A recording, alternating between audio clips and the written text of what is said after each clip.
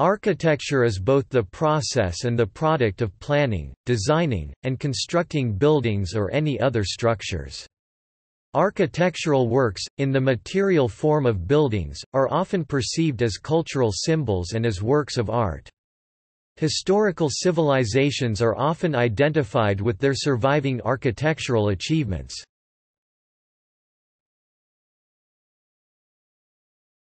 Topic: Definitions and etymology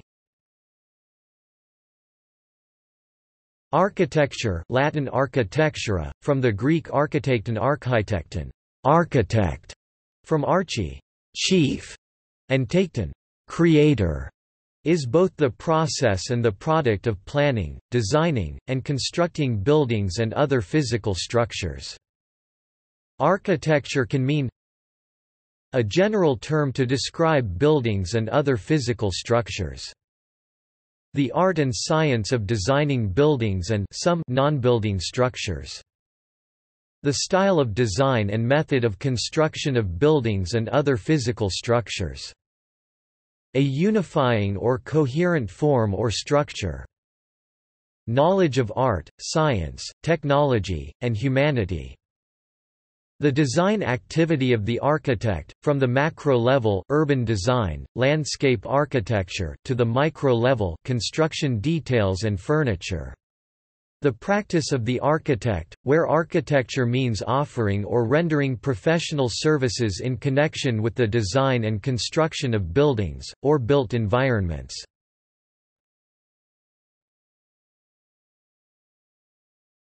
Topic: Theory of architecture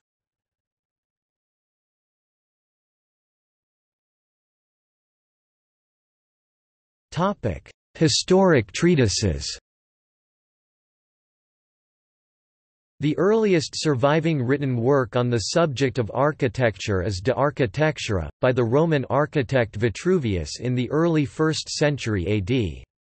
According to Vitruvius, a good building should satisfy the three principles of firmitas, utilitas, venustas, commonly known by the original translation, firmness, commodity and delight. An equivalent in modern English would be Durability – A building should stand up robustly and remain in good condition. Utility – It should be suitable for the purposes for which it is used. Beauty, it should be aesthetically pleasing. According to Vitruvius, the architect should strive to fulfill each of these three attributes as well as possible. Leon Battista Alberti, who elaborates on the ideas of Vitruvius in his treatise, De Re Aedificatoria, saw beauty primarily as a matter of proportion, although ornament also played a part.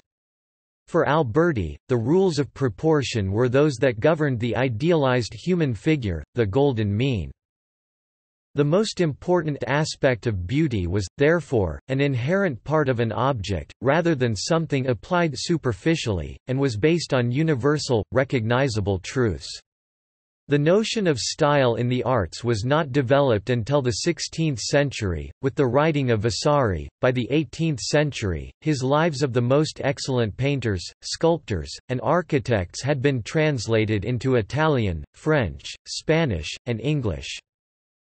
In the early 19th century, Augustus Welby Northmore Pugin wrote Contrasts 1836 that, as the title suggested, contrasted the modern, industrial world, which he disparaged, with an idealized image of neo-medieval world. Gothic architecture, Pugin believed, was the only true Christian form of architecture. The 19th-century English art critic, John Ruskin, in his Seven Lamps of Architecture, published 1849, was much narrower in his view of what constituted architecture. Architecture was the art which so disposes and adorns the edifices raised by men that the sight of them contributes to his mental health, power, and pleasure. For Ruskin, the aesthetic was of overriding significance. His work goes on to state that a building is not truly a work of architecture unless it is in some way adorned. For Ruskin, a well-constructed, well-proportioned, functional building needed string courses or rustication, at the very least, on the difference between the ideals of architecture and mere construction. The renowned 20th-century architect Le Corbusier wrote, "You employ stone, wood, and concrete, and with these materials you build houses and palaces, that is construction. Ingenuity is at work. But suddenly you touch my heart, you do me good.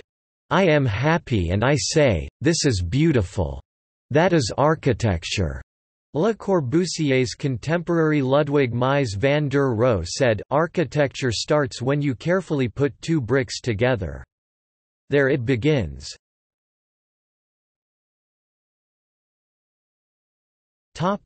Modern concepts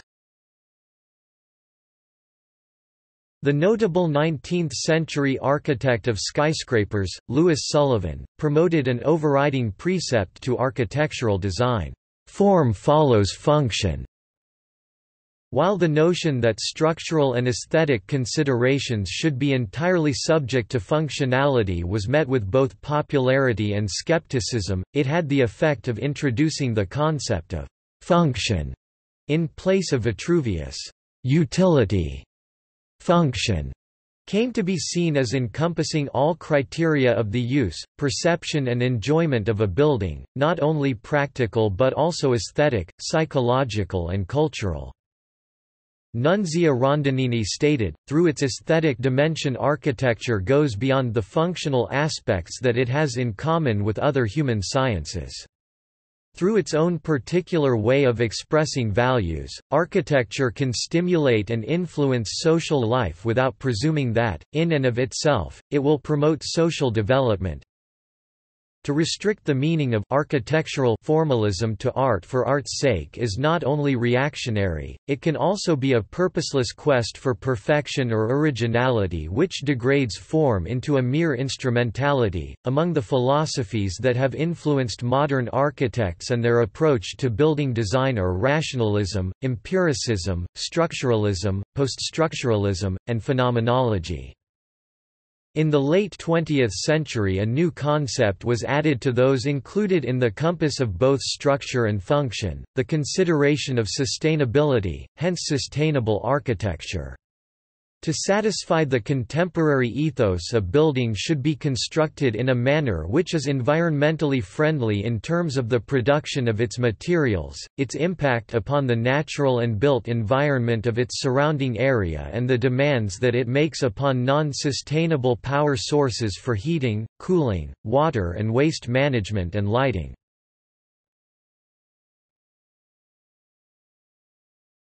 Topic Philosophy of architecture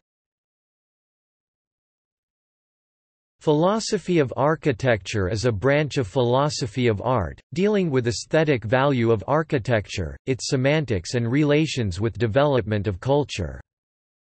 Plato to Michel Foucault, Gilles Deleuze, Robert Venturi as well as many other philosophers and theoreticians, distinguish architecture technion from building demiurgos, attributing the former to mental traits, and the latter to the divine or natural. The Wittgenstein house is considered one of the most important examples of interactions between philosophy and architecture.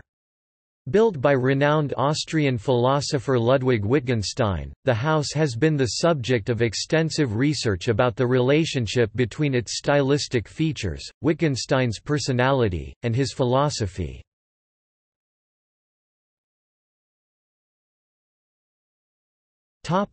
History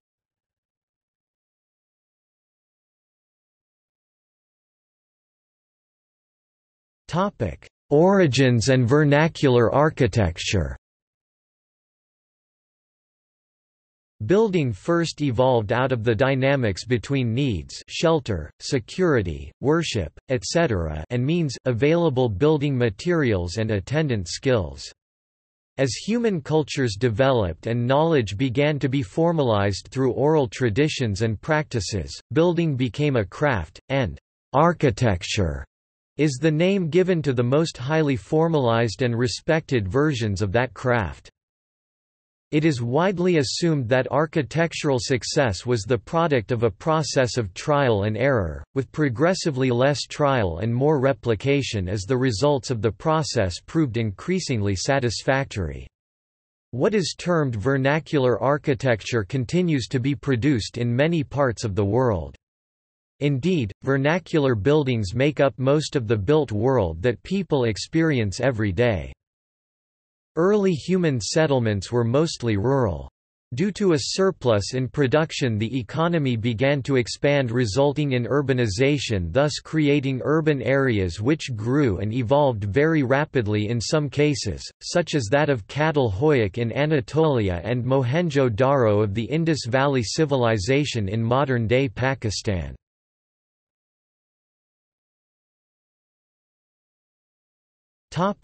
Ancient architecture In many ancient civilizations, such as those of Egypt and Mesopotamia, architecture and urbanism reflected the constant engagement with the divine and the supernatural, and many ancient cultures resorted to monumentality in architecture to represent symbolically the political power of the ruler, the ruling elite, or the state itself. The architecture and urbanism of the classical civilizations such as the Greek and the Roman evolved from civic ideals rather than religious or empirical ones and new building types emerged. Architectural style developed in the form of the classical orders. Roman architecture was influenced by Greek architecture as they incorporated many Greek elements into their building practices. Texts on architecture have been written since ancient time. These texts provided both general advice and specific formal prescriptions or canons. Some examples of canons are found in the writings of the 1st century BCE Roman architect Vitruvius. Some of the most important early examples of canonic architecture are religious.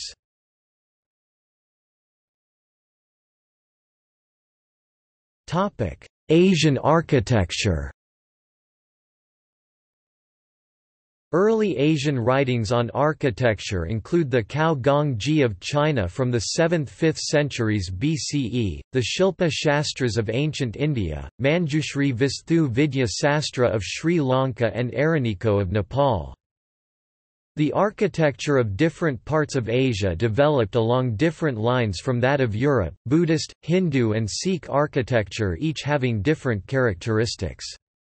Buddhist architecture, in particular, showed great regional diversity.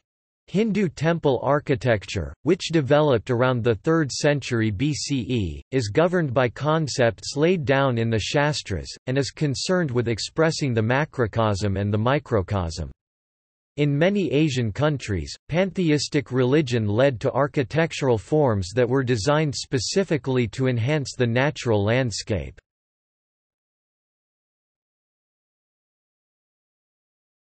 Topic: Islamic architecture. Islamic architecture began in the 7th century CE, incorporating architectural forms from the ancient Middle East and Byzantium, but also developing features to suit the religious and social needs of the society. Examples can be found throughout the Middle East, North Africa, Spain and the Indian subcontinent.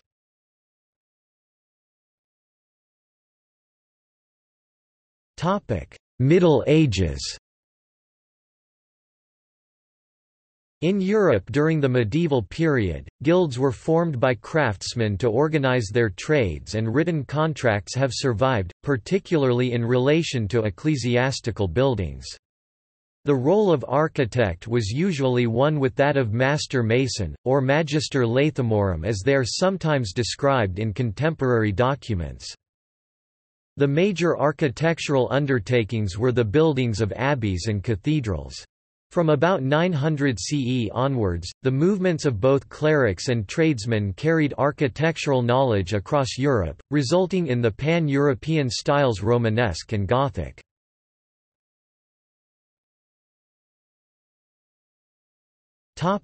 Renaissance and the architect In Renaissance Europe, from about 1400 onwards, there was a revival of classical learning accompanied by the development of Renaissance humanism which placed greater emphasis on the role of the individual in society than had been the case during the medieval period. Buildings were ascribed to specific architects, Brunelleschi, Alberti, Michelangelo, Palladio, and the cult of the individual had begun. There was still no dividing line between artist, architect and engineer, or any of the related vocations, and the appellation was often one of regional preference.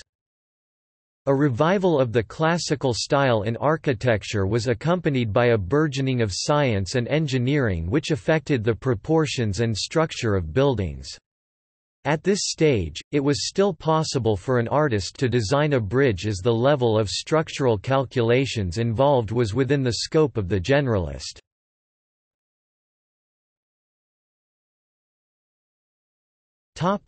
Early modern and the industrial age With the emerging knowledge in scientific fields and the rise of new materials and technology, architecture and engineering began to separate, and the architect began to concentrate on aesthetics and the humanist aspects, often at the expense of technical aspects of building design. There was also the rise of the gentleman architect, who usually dealt with wealthy clients and concentrated predominantly on visual qualities derived usually from historical prototypes, typified by the many country houses of Great Britain that were created in the Neo-Gothic or Scottish baronial styles. Formal architectural training in the 19th century, for example at École des Beaux-Arts in France, gave much emphasis to the production of beautiful drawings and little to context and feasibility.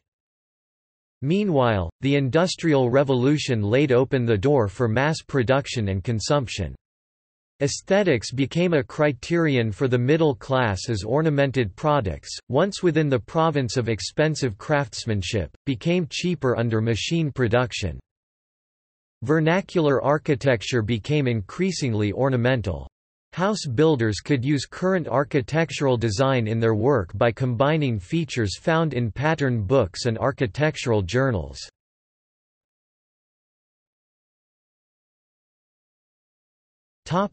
Modernism Around the beginning of the 20th century, a general dissatisfaction with the emphasis on revivalist architecture and elaborate decoration gave rise to many new lines of thought that served as precursors to modern architecture. Notable among these is the Deutscher Werkbund, formed in 1907 to produce better quality machine-made objects. The rise of the profession of industrial design is usually placed here. Following this led, the Bauhaus school, founded in Weimar, Germany in 1919, redefined the architectural bounds prior set throughout history, viewing the creation of a building as the ultimate synthesis—the apex—of art, craft, and technology. When modern architecture was first practiced, it was an avant-garde movement with moral, philosophical, and aesthetic underpinnings. Immediately after World War I, pioneering modernist architects sought to develop a completely new style appropriate for a new post-war social and economic order, focused on meeting the needs of the middle and working classes. They rejected the architectural practice of the academic refinement of historical styles which served the rapidly declining aristocratic order. The approach of the modernist architects was to reduce buildings to pure forms, removing historical references and ornament in favor of functionalist details. Buildings displayed their functional and structural elements, exposing steel beams and concrete surfaces instead of hiding them behind decorative forms. Architects such as Frank Lloyd Wright developed organic architecture, in which the form was defined by its environment and purpose, with an aim to promote harmony between human habitation and the natural world with prime examples being Robie House and Fallingwater. Architects such as Mies van der Rohe, Philip Johnson and Marcel Breuer worked to create beauty based on the inherent qualities of building materials and modern construction techniques, trading traditional historic forms for simplified geometric forms, celebrating the new means and methods made possible by the Industrial Revolution, including steel frame construction, which gave birth to high-rise superstructures. Fazlur Rahman Khan's development of the tube structure was a technological breakthrough in building ever higher. By mid-century, modernism had morphed into the international style, an aesthetic epitomized in many ways by the Twin Towers of New York's World Trade Center designed by Minoru Yamasaki.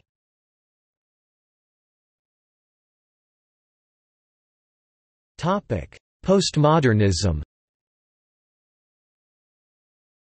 Many architects resisted modernism, finding it devoid of the decorative richness of historical styles.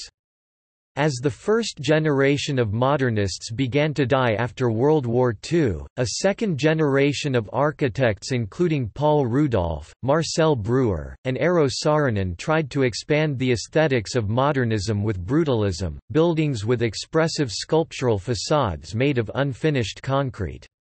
But an even new younger post-war generation critiqued modernism and brutalism for being too austere, standardized, monotone, and not taking into account the richness of human experience offered in historical buildings across time and in different places and cultures. One such reaction to the cold aesthetic of modernism and brutalism is the school of metaphoric architecture, which includes such things as biomorphism and zoomorphic architecture, both using nature as the primary source of inspiration and design. While it is considered by some to be merely an aspect of postmodernism, others consider it to be a school in its own right and a later development of expressionist architecture. Beginning in the late 1950s and 1960s, architectural phenomenology emerged as an important movement in the early reaction against modernism, with architects like Charles Moore in the United States, Christian Norberg Schulz in Norway, and Ernesto Nathan Rogers and Vittorio Gregotti Brigati, Michel Valori, Bruno Zevi in Italy, who collectively popularized an interest in a new contemporary architecture aimed at expanding human experience using historical buildings as models and precedents. Postmodernism produced a style that combined contemporary building technology and cheap materials, with the aesthetics of older pre-modern and non-modern styles, from high classical architecture to popular or vernacular regional building styles. Robert Venturi famously defined postmodern architecture as a «decorated shed» An ordinary building which is functionally designed inside and embellished on the outside, and upheld it against modernist and brutalist ducks, buildings with unnecessarily expressive tectonic forms.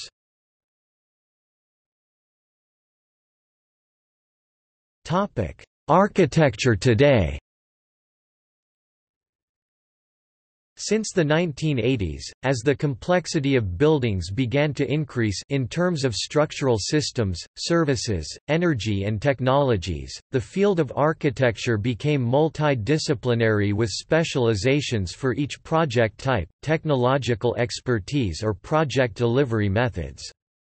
In addition, there has been an increased separation of the design architect from the project architect who ensures that the project meets the required standards and deals with matters of liability.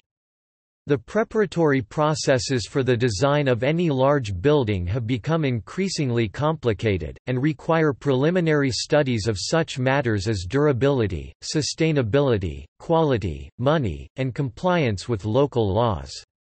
A large structure can no longer be the design of one person but must be the work of many. Modernism and postmodernism have been criticized by some members of the architectural profession who feel that successful architecture is not a personal, philosophical, or aesthetic pursuit by individualists, rather it has to consider everyday needs of people and use technology to create livable environments, with the design process being informed by studies of behavioral, environmental, and social sciences. Environmental sustainability has become a mainstream issue, with profound effect on the architectural profession. Many developers, those who support the financing of buildings, have become educated to encourage the facilitation of environmentally sustainable design, rather than solutions based primarily on immediate cost.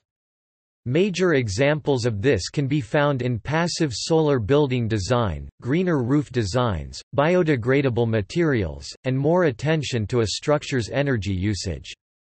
This major shift in architecture has also changed architecture schools to focus more on the environment.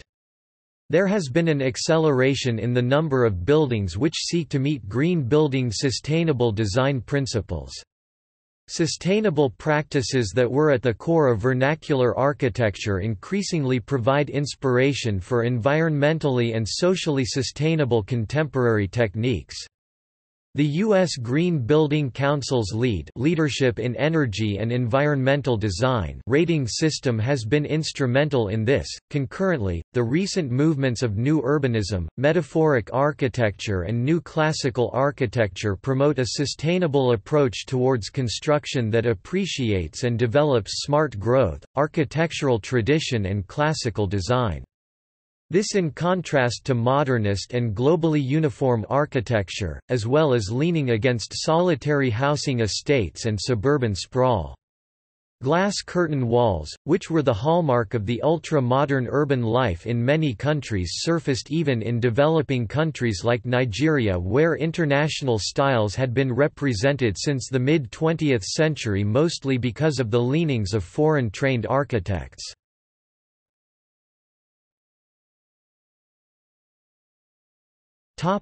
Other types of architecture.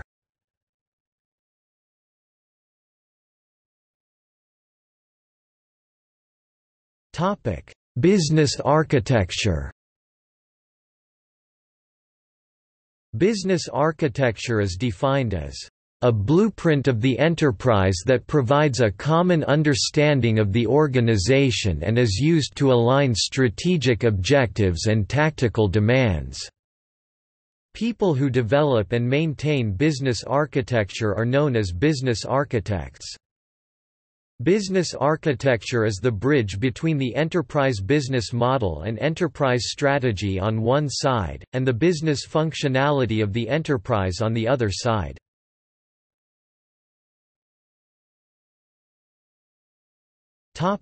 Cognitive architecture Cognitive architecture can refer to a theory about the structure of the human mind. One of the main goals of a cognitive architecture is to summarize the various results of cognitive psychology in a comprehensive computer model. However, the results need to be in a formalized form so far that they can be the basis of a computer program.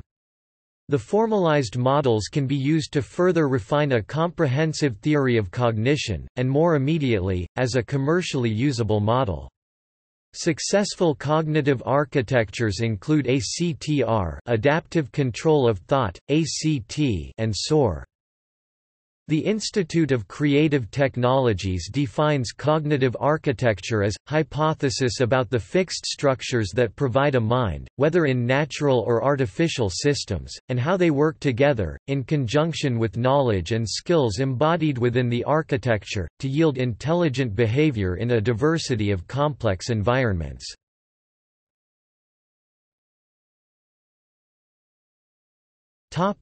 Computer architecture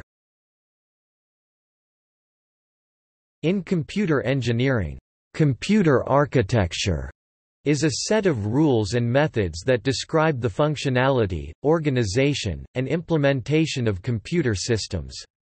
Some definitions of architecture define it as describing the capabilities and programming model of a computer but not a particular implementation. In other definitions computer architecture involves instruction set architecture design, microarchitecture design, logic design, and implementation.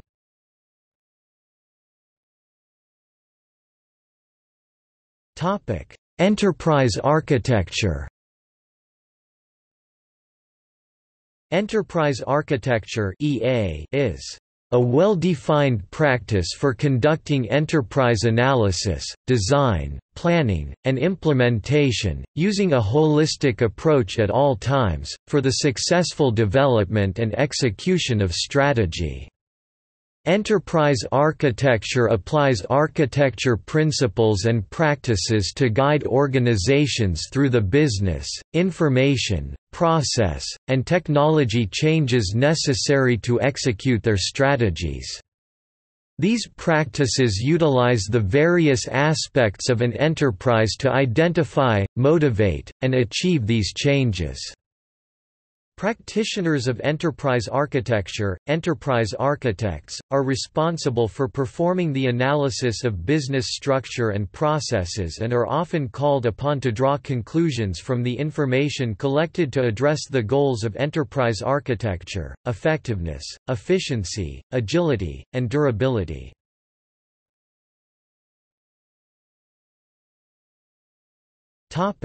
Interior architecture Interior architecture is the design of a space which has been created by structural boundaries and the human interaction within these boundaries. It can also be the initial design and plan for use, then later redesigned to accommodate a changed purpose, or a significantly revised design for adaptive reuse of the building shell. The latter is often part of sustainable architecture practices, conserving resources through recycling a structure by adaptive redesign. Generally referred to as the spatial art of environmental design, form and practice, interior architecture is the process through which the interiors of buildings are designed, concerned with all aspects of the human uses of structural spaces. Put simply, interior architecture is the design of an interior in architectural terms.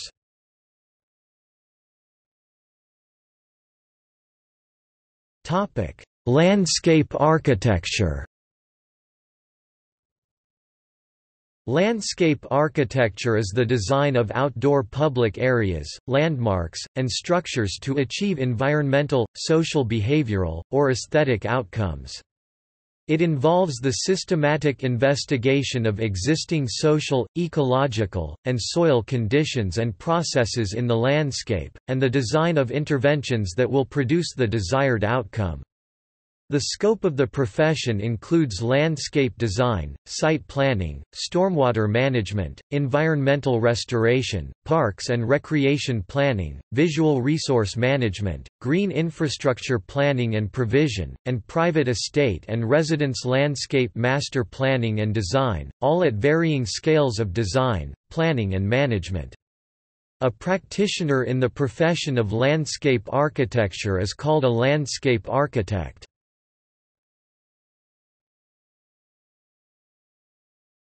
Topic: Naval architecture. Naval architecture, also known as naval engineering, is an engineering discipline dealing with the engineering design process, shipbuilding, maintenance, and operation of marine vessels and structures. Naval architecture involves basic and applied research, design, development, design evaluation and calculations during all stages of the life of a marine vehicle. Preliminary design of the vessel, its detailed design, construction, trials, operation and maintenance, launching and dry docking are the main activities involved. Ship design calculations are also required for ships being modified by means of conversion, rebuilding, modernization, or repair. Naval architecture also involves formulation of safety regulations and damage control rules and the approval and certification of ship designs to meet statutory and non-statutory requirements.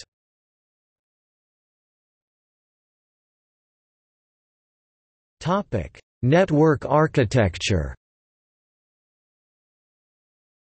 Network architecture is the design of a communication network. It is a framework for the specification of a network's physical components and their functional organization and configuration, its operational principles and procedures, as well as data formats use. In telecommunication, the specification of a network architecture may also include a detailed description of products and services delivered via a communications network, as well as detailed rate and billing structures under which services are compensated.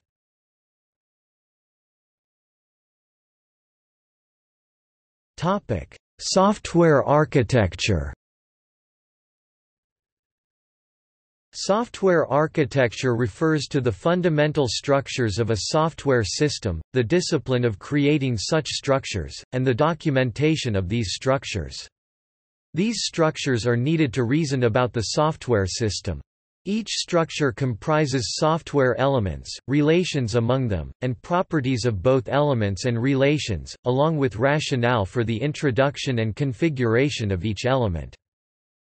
The architecture of a software system is a metaphor, analogous to the architecture of a building. Software architecture is about making fundamental structural choices which are costly to change once implemented. Software architecture choices, also called architectural decisions, include specific structural options from possibilities in the design of software. For example, the systems that controlled the Space Shuttle launch vehicle had the requirement of being very fast and very reliable. Therefore, an appropriate real-time computing language would need to be chosen. Additionally, to satisfy the need for reliability the choice could be made to have multiple redundant and independently produced copies of the program, and to run these copies on independent hardware while cross-checking results.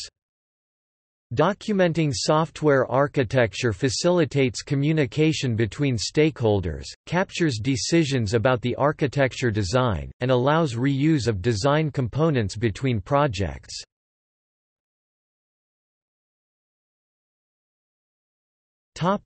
Distributed computing architecture In distributed computing, computations are distributed over different networked computers, which communicate and coordinate their actions by passing messages to one another. Examples of architectures for distributed computing include high-level architecture (HLA) and distributed interactive simulation DIS.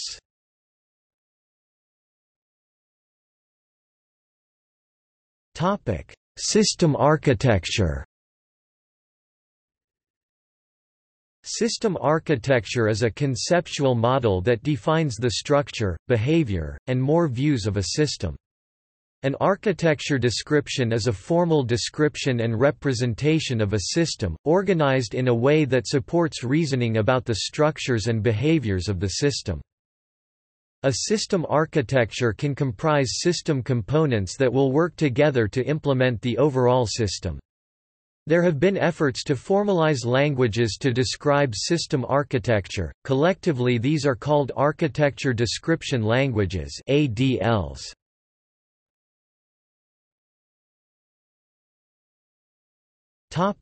Urban design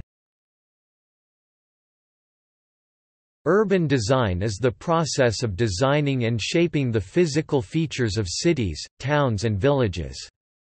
In contrast to architecture, which focuses on the design of individual buildings, urban design deals with the larger scale of groups of buildings, streets and public spaces, whole neighborhoods and districts, and entire cities, with the goal of making urban areas functional, attractive, and sustainable. Urban design is an interdisciplinary field that utilizes elements of many built environment professions, including landscape architecture, urban planning, architecture, architecture, civil engineering and municipal engineering. It is common for professionals in all these disciplines to practice urban design. In more recent times different sub-subfields of urban design have emerged such as strategic urban design, landscape urbanism, water-sensitive urban design, and sustainable urbanism.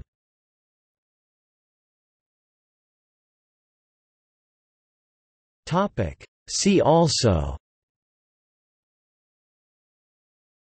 Architectural design competition Architectural drawing Architectural firm Architectural style Architectural technology Architectural theory Architecture prizes Building materials Contemporary architecture Dravidian architecture Guerrilla architecture Glossary of architecture List of human habitation forms Mathematics and architecture Metaphoric architecture Organic architecture Outline of architecture Sociology of architecture Sustainable architecture Zoomorphic architecture